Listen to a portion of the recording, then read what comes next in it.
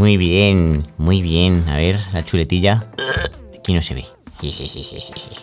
Bienvenidos a un nuevo vídeo de Room. Muchas gracias por estar aquí. Vamos a ver 8 tips profesionales para fotografía de paisaje o realmente, bueno, cómo conseguir fotografías espectaculares en paisaje, naturaleza, mm, viajes. Mm, interesante, interesante. Porque no siempre es fácil conseguir esto. A todos nos pasa, incluso a mí, incluso a los grandes. Muchas veces de repente te enfrentas a un lugar y es como, bueno, ¿y cómo hago aquí? ¿Cómo consigo estas fotografías increíbles en este país? Como las que he estado viendo, ¿no? Pues no es fácil, así que voy a darte aquí las cuestiones fundamentales que yo siempre tengo en mente y que he tratado de desentrañar, eh, simplificar y hacer muy didácticas para que se puedan absorber y se puedan aplicar. Y que así puedas conseguir, pues, grandísimas fotografías de paisaje y por lo menos que sepas una dinámica, unos pasos a seguir para encontrarlas. Primer súper super, tip, planificación. Sí, esta es una cosa que muchas veces se deja de lado, incluso hay poco material sobre ello, yo intentaré ir subiendo más, pero los grandes de la fotografía del paisaje saben planificar muy bien sus salidas, porque sí, yo soy defensor también de salir a la aventura, como le llamo yo, es decir, coger tu cámara, ir a un lugar, empezar a buscar, a vagar, a caminar y encontrar cosas, ¿no? Y así se encuentran cosas. Pero realmente hay lugares que funcionan mucho mejor que otros en cuanto a fotografía y hay momentos que funcionan mucho mejor o que dan mucho más juego o que hacen todo mucho más fácil que otros. Entonces, sí, los grandes de la fotografía estudian mucho antes de salir a un lugar, es decir, conocen mucho toda la zona y lugares en concretos de la zona, saben el potencial que tienen, saben los elementos que tienen, por tanto, luego tienen mucha más información a la hora de jugar, a la hora de ir al sitio y decidir dónde voy a ir. Voy a ir aquí, voy a ir allí, voy a hacer primero esto, voy a hacer esto, qué herramientas voy a necesitar para este lugar, etcétera, etcétera. Así que utiliza herramientas de planificación. Una muy conocida es Photopills, que ya la he mencionado en algunos lugares. Entonces, los grandes de fotografía de paisaje, muchas personas utilizan Photopills porque te permite organizarte y planificar en muchos sentidos. Pero también antes de ir a un lugar, en vez de ir al país o al lugar donde sea y ya está y empezar a ver si te encuentras con cosas, investiga. Investiga, por ejemplo, cuentas de Instagram, investiga hashtags de Instagram, investiga Flickr, porque muchas veces los fotógrafos suben sus fotografías a Flickr y ponen geolocalización. Investiga también Passporter, una aplicación donde mucha gente hace fotografías muy buenas y además tienen geolocalización. También investiga blogs de fotografía, guías de viaje del país, incluso vídeos de YouTube, Google Imágenes. Es decir, estudia. Cuanto más estudies, es como afilar el hacha, ¿no? Esta metáfora que siempre he dicho. Cuanto más afiles el hacha, mucho más fácil será que después encuentres grandes fotografías. Entonces, súper importante este tip, iré sacando más cositas de esto. Segundo punto, entrenamiento. ¿Qué quiero decir con esto? Pues realmente esto englobaría muchas cosas, pero voy a decir una metáfora. Imagínate que hacer una salida fotográfica y a conseguir esa gran fotografía es como un partido de un deporte o como un combate de un arte marcial. Realmente lo que va a definir quién va a ganar ese partido o qué va a ocurrir en ese partido es quien haya entrenado más, quien se haya preparado más, quien esté más en forma. Todas estas cuestiones. Entonces, Intenta ver la fotografía como esto. Tienes un montón de ámbitos que preparar y que entrenar a la hora de hacer una salida fotográfica, entonces trabájalos. Porque si no, muchas veces llegamos al lugar entonces no sabemos qué hacer, no sabemos cómo enfocar ese paisaje, no sabemos qué técnicas o qué reglas tener en mente, no sabemos qué posibilidades tiene este sitio con estas condiciones, no sabemos qué posibilidades tiene esta meteorología o esta luz, o no sabemos qué podemos hacer después con esto en la edición. Es decir, estamos como no preparados, estamos ahí, ¡ah! Nos ha pillado no sé, no sé qué hago, qué hago. Por tanto, todo lo que practiques o entrenes, eh, estudies, absorbas, entiendas, pero no solo de teoría fotográfica, sino de cómo funciona tu cámara, cómo funciona tu equipo, cómo funciona la meteorología, planificación, cantidad de estas cosas, todo esto te lo hará todo mucho más fácil. Incluso también te hará más fácil el siguiente punto, que es el punto 3. Tener el resultado final en mente. Muy interesante esto. En cantidad de ocasiones yo cuando tomo la fotografía, realmente si la veo en la pantalla, no parece una gran fotografía, porque puede que esté subexpuesta o puede que tenga cosas que ni siquiera se ven. Entonces realmente esto es porque yo tengo el resultado final en mente. Sé lo que voy a hacer después en la edición y por tanto me puedo anticipar y en la toma pues expongo de tal manera o dejo fuera unos elementos o utilizo un objetivo u otro, o compongo de una manera, o incluso, sabiendo lo que vamos a hacer después en la edición, el resultado final lo tenemos en mente, podemos encontrar grandes fotografías donde otros no las ven, porque nosotros vemos que con estos ingredientes que tenemos en ese momento, tenemos suficiente para después en la edición sacar la magia y conseguir una fotografía de tal estilo, de tal otro estilo. Entonces muchas veces en esto consiste un gran secreto de cómo conseguir grandes fotografías porque hay ocasiones, situaciones en las que hay personas que ven el potencial, ven la gran fotografía porque lo tienen en mente el resultado final y otras no. Vale, punto 4, muy interesante también. Adáptate a las condiciones que tengas. ¿Y qué quiero decir con esto? Pues que muchas veces vamos con una idea rígida, preconcebida, determinada de qué es lo que queremos hacer en esa salida fotográfica. Entonces, por ejemplo, muy típico, a mí me pasaba al inicio que yo pensaba que solo se podían hacer fotos al atardecer, con la hora dorada, con el sol en esta posición y con estos elementos y con esta lente. Entonces, ¿qué ocurría? Que muchas veces no era capaz de encontrar grandes fotografías porque tenía otros elementos.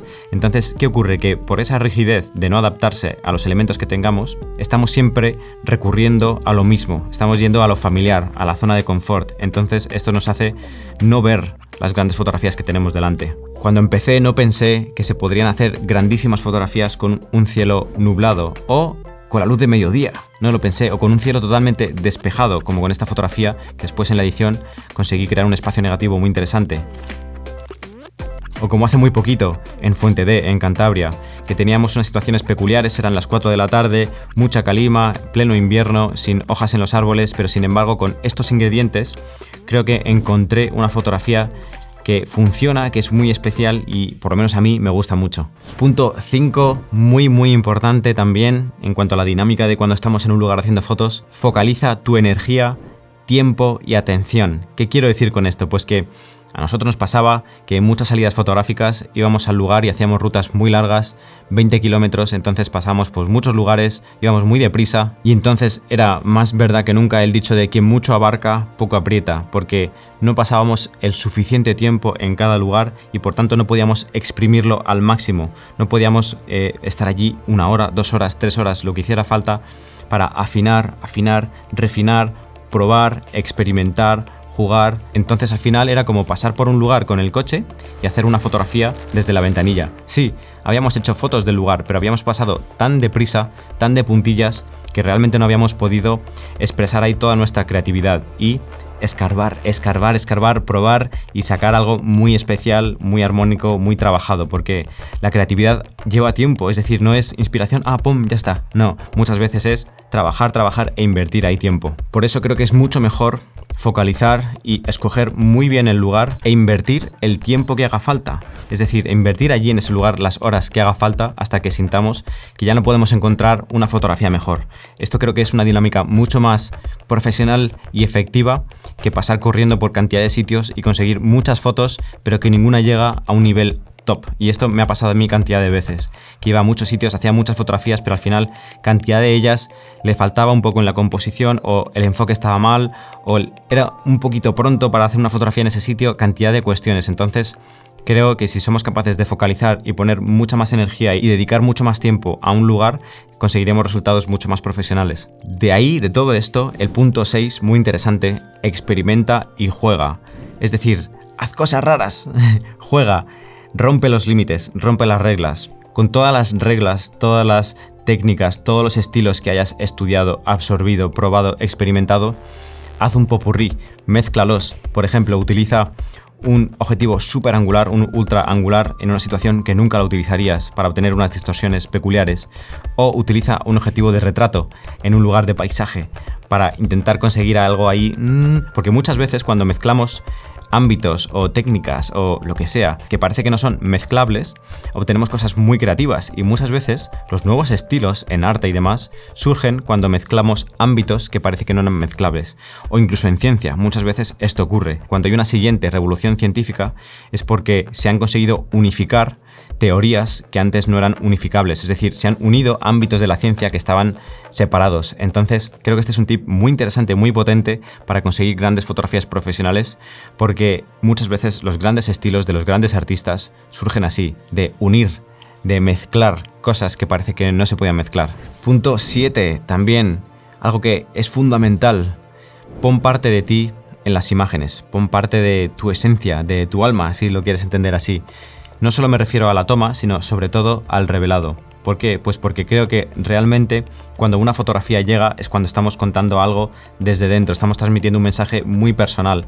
Entonces como para mí la edición, el revelado de las fotografías está muy cercano a la pintura y al arte, realmente ahí es donde tenemos posibilidad de convertir la fotografía en algo totalmente personal. Y sé que hay muchas personas que piensan, como vimos en el vídeo de los mitos, que el revelado es trampa, pero realmente cuando nosotros ya estamos retratando un lugar con una lente 70-200 por ejemplo, f2.8, estamos viendo algo o transmitiendo algo que jamás vería un ojo humano, nadie lo vería así. Entonces realmente creo que el proceso fotográfico es un proceso de transformación interpretativo y por ello, cuanto más pongamos de nosotros, pero de una manera trabajada, armónica, equilibrada, etcétera, etcétera, conseguiremos transmitir algo que llega a los demás y que por tanto se ve como más valioso, más profesional. Creo que esta parte no es sencilla, es bastante compleja, por eso enseño tantas cosas de ello, pero bueno, con que tengas esta idea y que le des vueltas poquito a poco, seguro que vas encontrando las maneras de poner parte de ti en tu trabajo. Y punto 8, por fin, el último,